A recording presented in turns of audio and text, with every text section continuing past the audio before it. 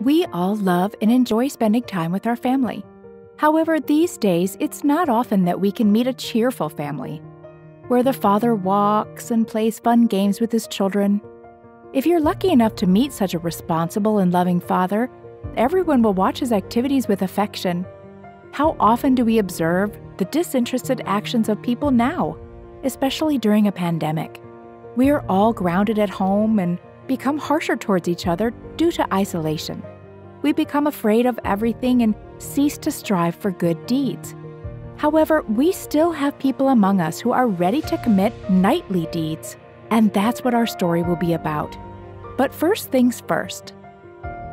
Hey guys, if you want to support our channel, we'd be very grateful if you would subscribe and like this video. This will help us a lot. Thank you. This story about such a father and his daughter Aoife happened during their walk along the Woodstown beach in Ireland.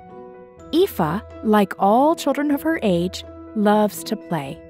This day, she went to play on the beach with her brother and father.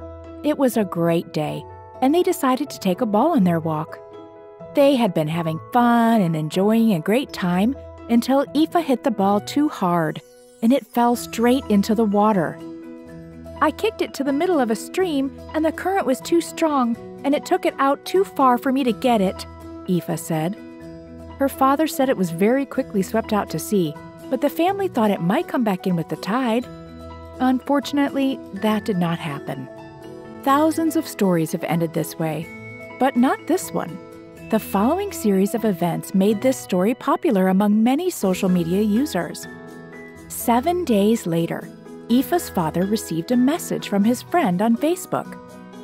Hey, I found something. You may be interested and sent a link to a message from a West Wales girl named Aline that said, If anyone knows Aoife Ni Niocaill, her football has just washed up on Llanrhystud Beach, West Wales. Wonder how long it's taken to get here from Ireland. Aoife's father was overjoyed at the unexpected luck and immediately told his daughter about it. Aoife was very surprised and glad that her favorite ball had been found because she was worried that a whale or a narwhal might eat her ball. Then they together replied to Aline's message. I'm Eva's dad. She's 10 years old and she lost her ball on Woodstown Beach in Co Waterford last Sunday. It went into the water as the tide was going out, and all we could do was watch it drift away. I showed her the picture you posted.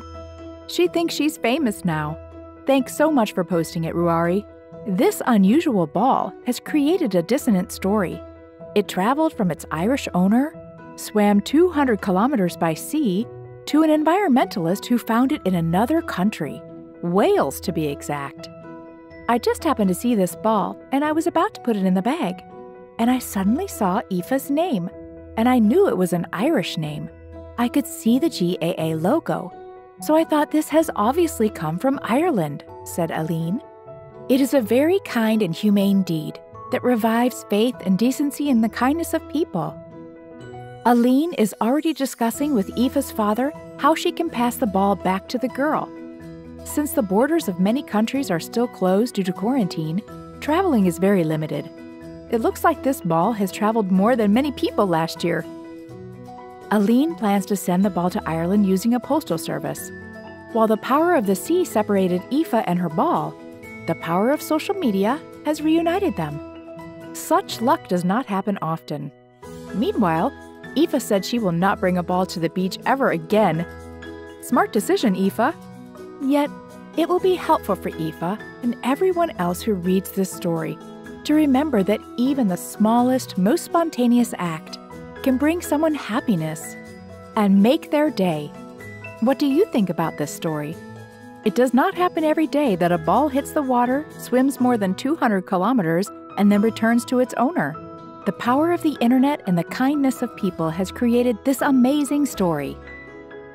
Thank you for watching. You can subscribe to our channel if you like good stories like this one. Now on the right, you can check out other amazing stories. And that's all for today. See you soon.